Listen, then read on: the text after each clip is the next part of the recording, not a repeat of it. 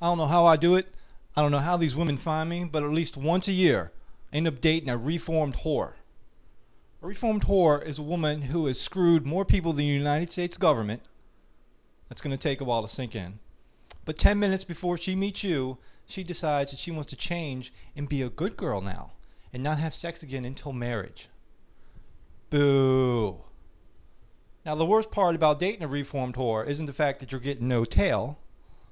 The worst part is you end up out in public with people who she has slept with. So you're at a bar or a club and you're standing there with her and a bunch of her friends, and then her and a couple girlfriends go to the bathroom and leave you standing there with three guys she's been sharing fluids with. That's a great porn name, by the way, sharing fluids. And one of the guys goes, Hey, Dwayne, your girl Beth, she sucks a mean one, doesn't she?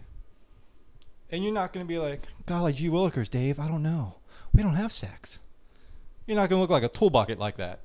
So you go, yeah, it's like she gargles with oil of Olay. Her entire mouth is just a big ball of silk.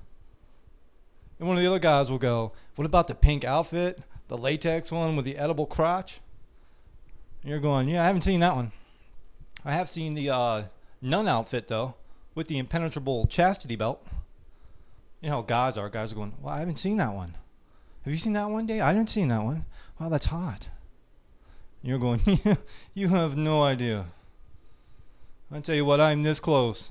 I am this close to slipping her a roofie and calling a locksmith.